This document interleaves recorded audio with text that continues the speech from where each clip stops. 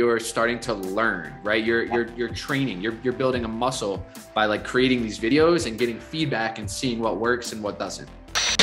I feel like just from having an audience, you give yourself so many possibilities. Welcome back to BusinessTok, the TikTok marketing podcast for business owners and entrepreneurs who want real strategies to generate leads and sales directly from TikTok. I'm your host, Austin Armstrong, and I'll be interviewing real business owners from every industry that are leveraging TikTok to actually grow their business. You can connect with me on TikTok at Socialty Pro. Let's jump into it.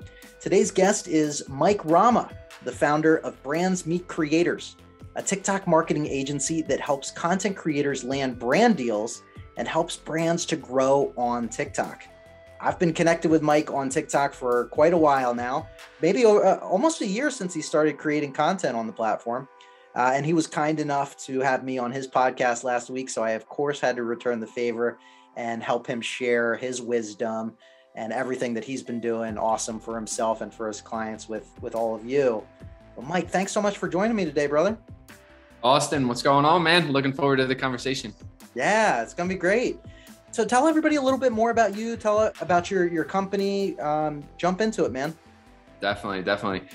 Yeah. So I guess I'll start it off. Uh, when I got on TikTok, that was a little over a year ago. So I want to say January of 2021 uh, was when I really jumped into TikTok. And when I first got on the platform, I didn't. One, I didn't know what I was doing on TikTok. It was brand new to me. Two, it, it wasn't like I had a you know a concrete uh, you know offering that I was promoting. I was just in the marketing world. You know, I was running Facebook ads and YouTube ads here and there for some clients, and I was like, I'm just gonna talk about marketing on TikTok. So that's kind of how I started out. That's just how I went about it. It's Just talking about different strategies, uh, different things I'd done before, building funnels, building websites, just giving out value left and right. Um, from there, I landed like my first couple deals here and there, like brand deals, also like helped to, you know, bring in a couple other clients. And from there, I really shifted towards, okay, I see this huge vision of TikTok, right? And I started getting questions uh, from other people too. It's like, hey, I see what you're doing for your business on TikTok. Like, tell me a little bit more about that. Like, what, like, what's going on there? And at the same time, where I see kind of TikTok going like this, I kind of see Facebook ads going the exact opposite direction, you know? And that's when I have a choice. I'm like, okay, do I just completely pull the plug and like I stop focusing on Facebook ads and it's just like I'm going all in on TikTok? And that was kind of the, you know, decision that I arrived at. Um, and with that, yeah, I decided just to go all in on the platform. One of the best decisions that I've made, built up the agency to where it is now, where we connect content creators and brands. So we help content creators on that side of business to find brands that they can work with kind of show them, okay, this is how you should go about the process. Here's how you should do your pricing. And then on the brand side, we help them to find these creators to work with, to build them a strategy, uh, to just get them growing on the platform. That's awesome, man. Now, were you did you have your own agency before this or did the agency sort of start afterwards were you freelancing before or were you working for another agency yeah so i'll, I'll take you uh, kind of way back yeah. So I was working uh I was working a corporate job up in New York City. I was in like the data analytics, marketing analytics space for a while. Pandemic hit and prior to the pandemic, I had constantly done, you know, the whole side hustle phase, right? I was doing drop shipping, Amazon FBA, the Shopify store, the print on demand, everything, right? And I'd always loved like the marketing portion, like growing an Instagram page and like and running Facebook ads. I've always I've always loved that and when the pandemic hit, um, the you know current side hustle at the time for me was I was running paid ads, Facebook and YouTube for some affiliate offers, like high ticket programs, uh, where I would get you know thousand dollar commission every time I sold one of these. And that was one of these first like side hustles that really took off for me that I was actually making like a considerable amount of money for.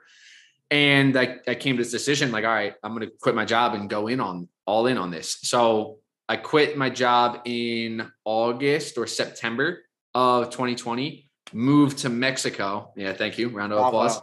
Wow. Um, one of the most like pivotal decisions I've had in my life, and so glad that I did it. With that, moved to Mexico with a buddy of mine who was doing something very similar.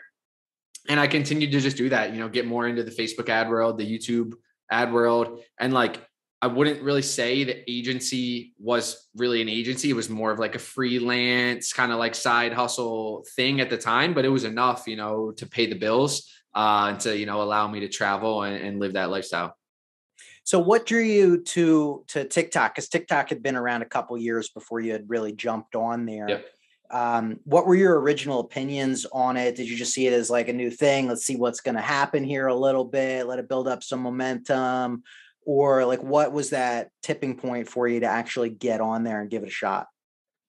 Yeah. So initially, I actually hated TikTok as a consumer, right? Like I would have friends that I was on it and I'd be like, dude, you're just getting like sucked into that thing. Like delete that app. What are you doing? Uh, so I initially had really strong feelings against it from the like consumer mindset of I don't want to be on that platform because I'm like it's just another thing now that's gonna like suck up my time. Um, when I was in Mexico, I was just hearing more and more whispers about the platform. Like my roommate at the time, uh, he was doing sales calls, and like more people were, would kind of bring up TikTok on the call. Uh, my sister was kind of encouraging us. She was like, "Hey, you know, I know some people who are doing really well on TikTok, like from a business standpoint. And I had never thought of the platform as like, oh, that could be used for business. Um, people still just, don't see it that way. yeah, a lot of people still don't see it like that. Um, so there was never really like one moment. It was a lot of these like little like whispers that ultimately got me to make the jump onto that platform. That's great, man. And and you said it, it you didn't really have much of a strategy at first, right? You were just kind of testing the waters out, seeing what mm-hmm. was up, sharing some helpful advice. Can you talk through that the early phases of what type of content you were creating and what sort of clicked for you? When did the momentum right. begin? So, a couple things. One is I think that actually is something that helped me is going into it. I didn't have like a concrete like okay, I'm I'm trying to sell this thing right? A lot of people, that's what they do. They're like, oh, I have this thing I'm trying to sell. So I'm going to make videos about it. And I didn't really have that. For me, it was more like, okay, I'm just going to talk about marketing principles, tactics, uh, things that I've learned. And so I was truly just like putting value out there and like building connections, building a community. Um, so I think that's something that really helped me. And looking back, I see how powerful that was that like I didn't just day one just come out of the gates just like trying to sell something on TikTok, which is what what most people do. Um, the other thing is I've never really had a like one of those like viral exponential moments. For me, mm-hmm. it's just been like very consistent over the mm-hmm. past year. Mm-hmm. Um, which I think there's pros and cons. I can't really speak from experience on the side of going viral.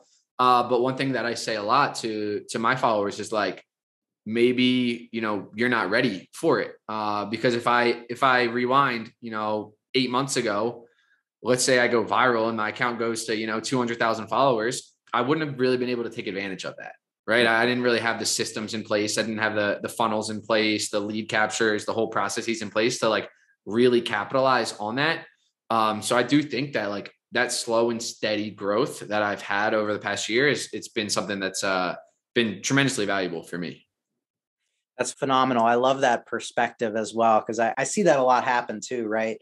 A lot of people will randomly have a video go viral and that they don't have the systems in place. They don't know how to to monetize, to capture that audience and retain it. And then it's just a disaster waiting to happen, right? Because maybe that video was viral for something totally unrelated to what they're creating and what they consistently do, mm-hmm. which leads to burnout um, you know, I see this all the time. Like I, I had a buddy uh, a couple weeks ago.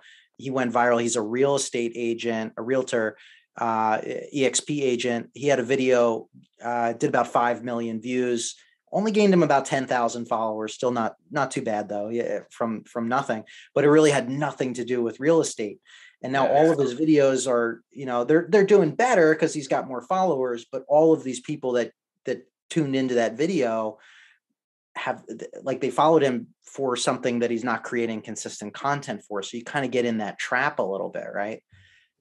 Yeah, and then that kind of stunts your future growth if you think about it from like the yeah. algorithm. Yeah. Think about it from the algorithm perspective because a lot of your early views come from followers, right? So let's say let's take this uh this example, real estate agent, they followed him because of I don't know what the video was, but for the unrelated topic.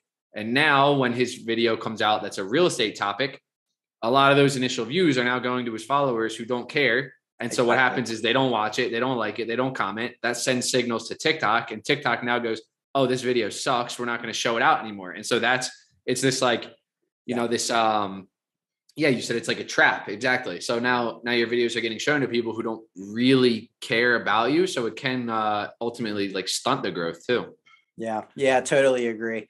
Um, what's your content creation process look like now? Has it evolved at all? Like, are you are you batching content? Are you creating content every day? Can you walk us through what that process looks like?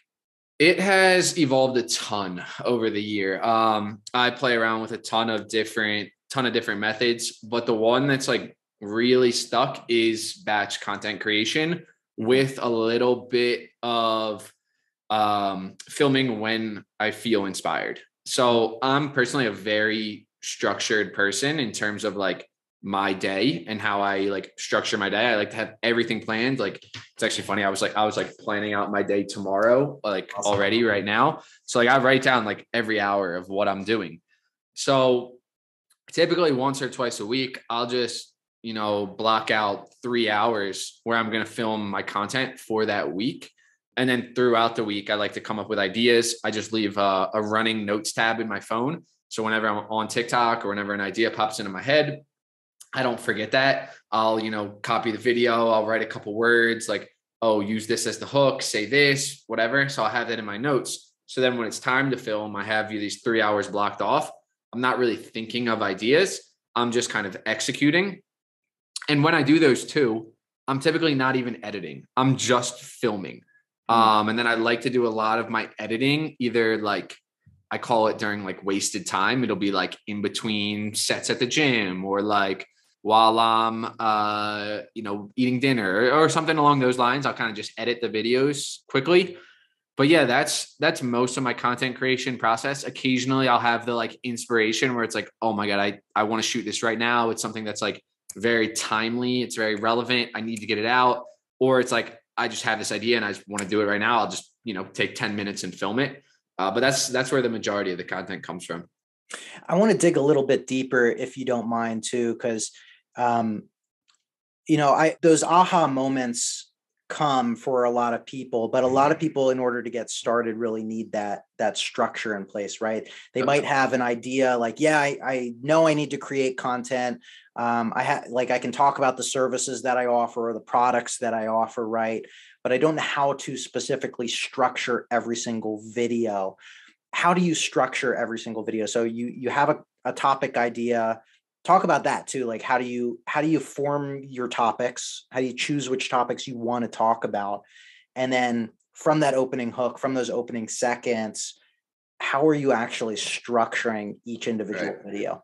Yeah, great question. Um, I'm gonna kind of work like like backwards from this actually. Sure. So one thing I like to do is to like recreate videos and frameworks that I already have that work really well, right? So when I have something that's like it blows up, it crushes it. Now it's like, okay, how do I take that same exact style and like how do I kind of reproduce that with maybe a different hook, a different topic, different like backgrounds, whatever it is. Same thing that I'll that I'll kind of coach clients through, right? They make 30 videos in a month and two of them go crazy. It's like, all right, let's make more of those. Like, keep, let's let's keep doing this. Oh yeah. Um, now now the thing is, how do you how do you get to that point, right? How do you get those first ones? And I think early on, it's all about continuing to test those different frameworks. I know you mentioned like how do you come up with the hook? How do you do this? Like, I don't think there's just one set. Like, hey, this is how you do it. This is how you mm-hmm. win because it's different for everyone. It's different depending on like your audience and your account. Definitely. So I think it's so I think it's like a, an experimental process where you're testing new things out. And so it really comes down to now how do you test these things out? Like, where do you get these ideas from? And to me, a lot of times it's like, I'll come up with an idea, right? So, so we have a, a concept. And now going from with that concept is like, a couple of things. How can I tell a story with this concept? How can I take this concept and make it a 12 second video? How can I take this concept and make it a one minute video? How can I take this concept and use the voiceover feature? How can I use the green screen feature? And just like, instead of just like, oh, I have this idea, let me just quickly like just talk to the camera and like say a couple things, but like taking a step back and thinking like, okay, what different ways can I present this information? And then just testing a bunch of them and like seeing what works and then eventually you'll get to a point where it's like you kind of have an idea of like what's going to work and what's not going to work although tiktok always you know surprises you on what you think is going to work um but you start to get like a better sense of that as you go. And so i think early on i made a video about this. So many people will tell you like oh you got to post three times a day you got to post five times a day. And for me early on i think you do need a lot of posting volume but it's not necessarily because those posts are gonna you know really catch on and they're gonna go viral and you're gonna grow. It's that like you're getting the reps and you're starting to learn right? You're you're you're training you're you're building a muscle by like creating these videos and getting feedback and seeing what works and what doesn't.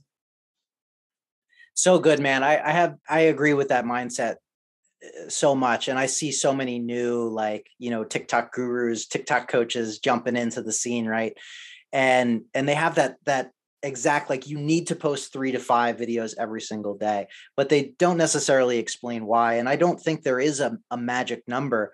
I think the the psychology and the mindset there is exactly what you said it it it's more at bats right? It gives you more opportunity to fail faster and it builds that muscle of you consistently creating content because that consistency is what really matters here in the long run like you're doing phenomenal you have what 70,000 followers or just about or somewhere somewhere, somewhere in that, range, right? somewhere in that ballpark. I, somewhere I get the uh, official number while we're while we're talking. Yeah, and and none of them have been viral, as you said. Like uh, no. I know you've had some some pretty decent uh, hits, um, but that consistency is really what pays off, and that is just such an important aspect there too. So I I love that mindset. So powerful. I want to pivot a little bit. Well, all right. Before we get into the monetization side of things, I want to see your thoughts on uh, some of the more granular topics like mm.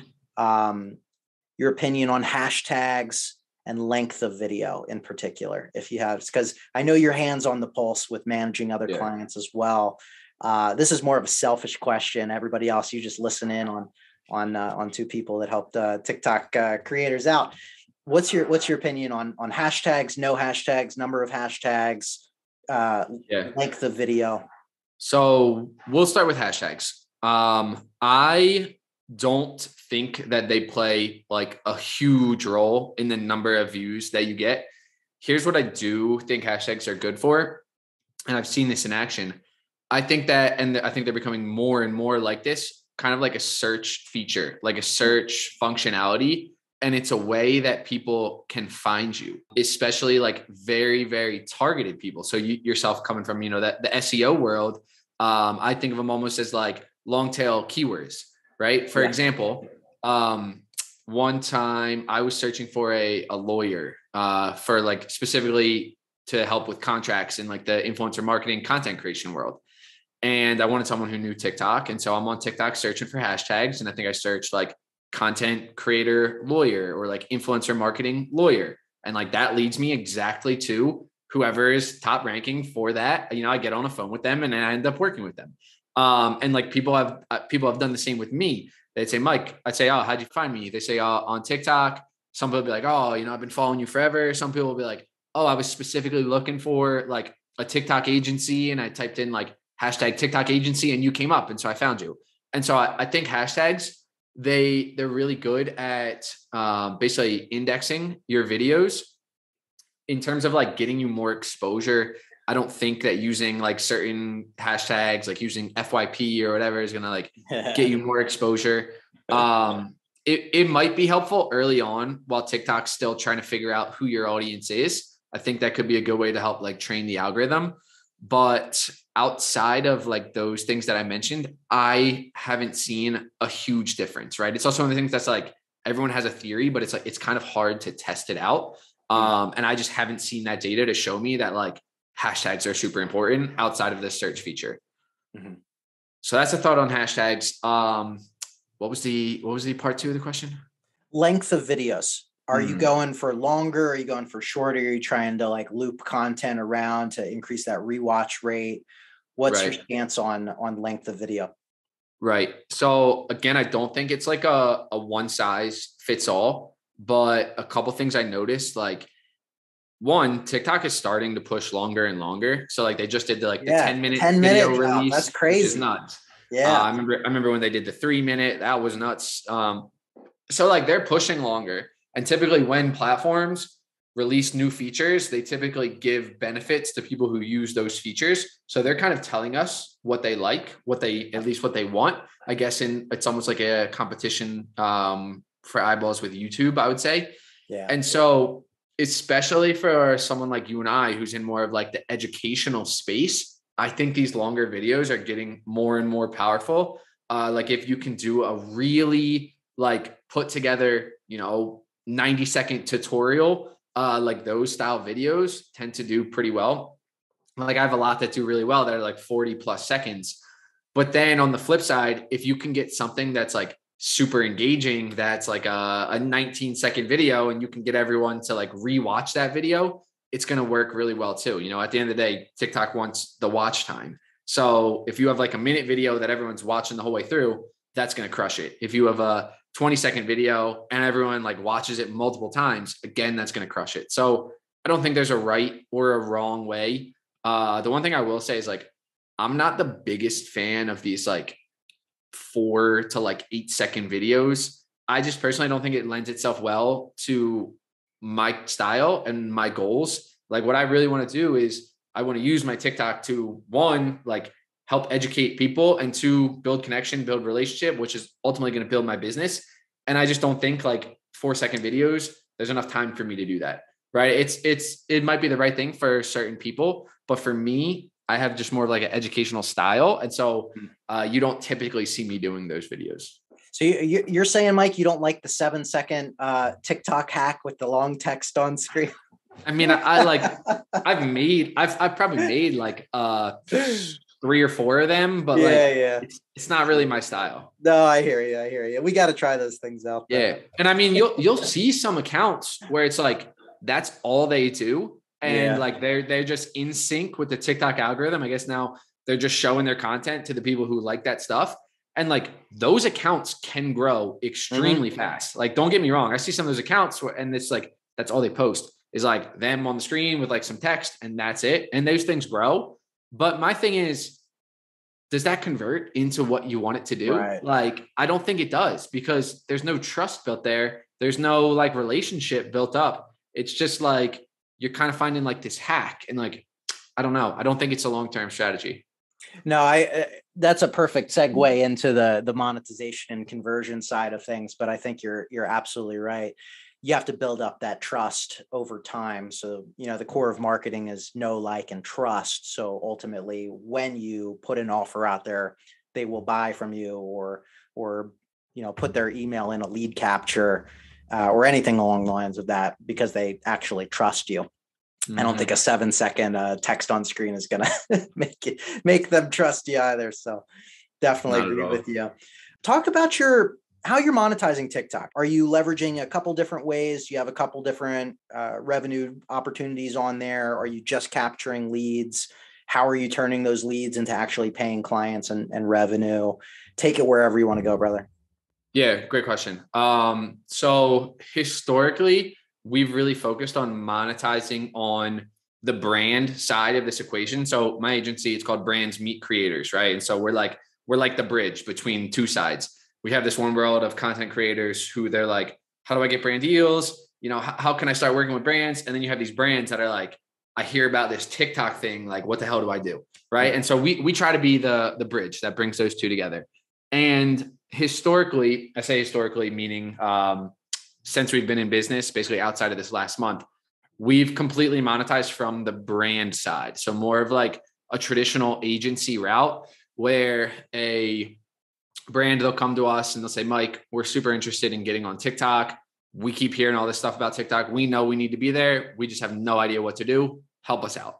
And so what my company does is first we come up with a strategy for them. Like, hey, here's what we think you guys should be doing on TikTok. Develop that strategy. Then part two, we're going to find them someone who can implement the strategy. Going out, finding them a content creator, and then staying on board, just making sure like we're keeping up with that strategy, making optimizations, tweaks, and just ensuring that like we're growing and we're generating business from the account. So that's typically what we've done. And then what that allows us to do too is now I have all this deal flow with brands. I have all these opportunities. So we get content creators coming our way and it was always free. Like, hey, sign up for our newsletter. We'll send out opportunities every week. And people loved it because like we were just giving them away, like, hey, here's all these potential brands that you can work with.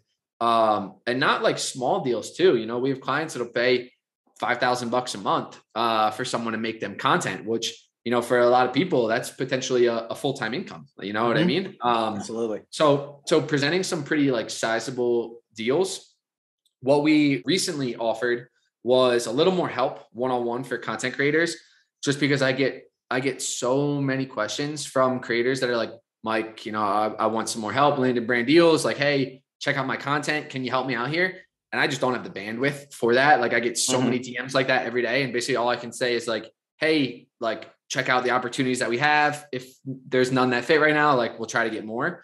Uh, but I just had so much demand for people like asking, like, hey, I had this brand reach out to me. They offered me, you know, $600. I think they're undercharging. What should I do? And like, I just, I didn't really have the bandwidth to answer all these questions. Uh, so we recently released a creator program where we're basically walking content creators through the whole process from start to finish, how to find these brands, how to i say basically how to uh, get in contact with them on, on autopilot. So teaching them how to build systems to actually you know bring brand deal opportunities their way on autopilot how to price themselves uh, also you know how to build their own email list to potentially launch their own products and services. So really just like a uh, I call it the full-time content creator roadmap, just giving them all the tools they need to go from, you know, maybe they're earning one to two thousand dollars a month and they want to step that up to like five to 10K a month, just kind of showing them how to get there. Such a fantastic resource, man. So how how are brands and creators specifically getting a hold of you? Are they are you like what's your funnel look like? Are you using a link in your bio? Are you driving them just to your website? Are you driving them to a, a link tree or a beacons or any one of the various ones and capturing information there? Yep. SEO, like offsite, What's that? It's like? it's pretty much all through TikTok right now. Mm-hmm. Um, driving to the link and then I kind of split it off. Are you a brand? Go here. Are you a creator? Go here. Mm-hmm. brand side, we'll take them down like a free training. Uh, like, hey, here's all the stuff that we do with our clients. Like, here are the things that you should be doing. Um, and like actually provide some value in that training. And at the end, just ask them like, hey, if you want to you know go ahead with that you know you can implement those strategies. If you want some hand holding you want us to actually do this work for you uh, you can schedule a call with either myself or um, our sales guy. And then the content creator side we actually just released this program uh, brand new as of like two weeks ago. So it had originally just been on the content creator side you put your email in and we send you brand deals every week. And I would just release this program by just sending out a couple emails to the list and telling people to shoot me a DM if they're interested.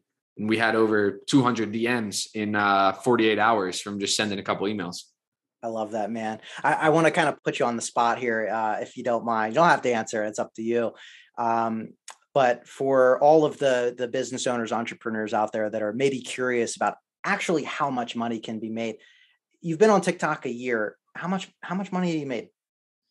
Yeah. So this year, like January going forward, we're almost at 60,000. Uh-huh. Um, and awesome. since, yeah, since being on TikTok, it's been around 150K. Congratulations, brother. Oh my gosh. That's amazing. Fantastic, man. It's, and it's just it's, going uh, up every month, huh? Exactly. It's exciting. Uh, we're, yeah. we're slowly scaling out. So like it yep. started just me. Now it's a team of five of us. I just brought someone new on the other day. Mm-hmm. Um, and then we have some people who are more like independent contractor roles, like sales guys. Mm-hmm. Um, we're having a team help us build out like a platform and everything. So yeah, it's uh there's so many opportunities on the platform. And even outside of just like just like the pure sales numbers. There's also so many connections and so many opportunities that are made. Like one way I think about it is I I truly feel like I could really never go broke like once you build an audience. Like let's say I blow up the agency today, yep. I feel like I could have 10 opportunities on my lap in a week just mm-hmm. from TikTok. Just because you make so many connections and you just yeah. position yourself as an authority and like I would never do this. I mean, never say never, but like let's say I wanted a job, right? I wanted to like I'm not going to work for myself again. I want to go lead you know, be head of influencer marketing somewhere or whatever. I feel like just from having an audience, you give yourself so many possibilities. Yeah, so so true. So well said too. Like, um, and it's such a blue ocean right now on on TikTok. Like, yeah, it's the you know fastest growing platform ever. It's over a billion users, but it's still wide open in so many different industries, right? Like when I got started on on TikTok personally, let's talk about SEO stuff. Eh, eh, that's saturated on YouTube. Obviously, on Google, has been around forever. saturated on like every other platform, but literally no one was talking about SEO, search engine optimization, on TikTok, and that's why I was able to grow pretty quickly because it's wide open and everybody right. can leverage it right now, no matter what industry you're in, no matter what your expertise in, you can be the go-to person in that industry on TikTok right now. And that is so so powerful and you can leverage it to grow other platforms you can leverage it to get brand deals you can leverage it to get a job if you want. It's just such a, a phenomenal platform right now with with all of the eyeballs in the world looking at it. Mike what advice would you give to an aspiring entrepreneur or a business owner that wants to get started on TikTok? Or maybe they've been on it but they don't have a clear plan of attack, what advice would you give them to start growing and start monetizing? It's a great question. I actually had a conversation with a client yesterday who he's on TikTok. He has an account. It's like a, a faceless account. You know, he's kind of like a serial mm-hmm. entrepreneur. He has a handful of accounts that are like outsourced to other content creators. And he's been like, Mike, I want to create my own, you know, personal brand on here. Like, do you think mm-hmm. it's worth it? Should I go ahead with it? And I've had other friends ask me very similar questions. And the thing I'll say is like, you just have to start and just take messy action. Like your first videos are going to suck and you have to be okay with that. And you like, you just have to get over that mental hurdle of you're not going to be amazing day one. No one was amazing day one. Every single person on this platform started with zero followers and like go into it with the mindset that I'm going to do this for a year. And like, if I don't like it after a year, then like I can quit. But if you go into it like, oh, maybe in two weeks I'll have 10,000 followers and like I'll hit this viral video, you can't have that, right? You have to go into it with the expectation like, I'm gonna make content for three months straight, even if every single one of my videos get 100 views. And just know that, like, on the other side of putting in that work, there's so many opportunities. Uh, so, really, just like getting started and just take messy action. I love that, man. Any final thoughts as we wind down? final thoughts. Um, yeah, if you're someone who's in that position and you're like, damn, I've been thinking about it for a while. I, I, I don't know. Should I go for it? It was one of the best decisions I've ever made in my life. And like, even I remember creating my first TikTok video. I was not new to creating videos. Like I mentioned, I, I'd done like YouTube ads and stuff, made YouTube videos. So I wasn't uncomfortable being on camera, but just the, it's, it's something about just doing something new is very difficult. So even for me, creating that first TikTok took like a week, you know, just coming up with ideas and like filming and like just being so nervous about putting it out there. Um, so yeah, it's just really something that you have to get past. And if you're considering creating that personal brand, just go all in. It'll be the best decision that you ever make. Powerful words, brother. Mike, how can people get a hold of you if they want to learn more about you, connect with you on TikTok, and learn more about Brands Meet Creators? Yeah, I would say just go to my TikTok account. It's mike.rama. Uh, that's where you'll find everything. All my other socials are linked up there, but that's the uh, that's the main hub where you can find me. I appreciate it, brother. Thank you so much for joining. Austin, it was a good one, man. Take care.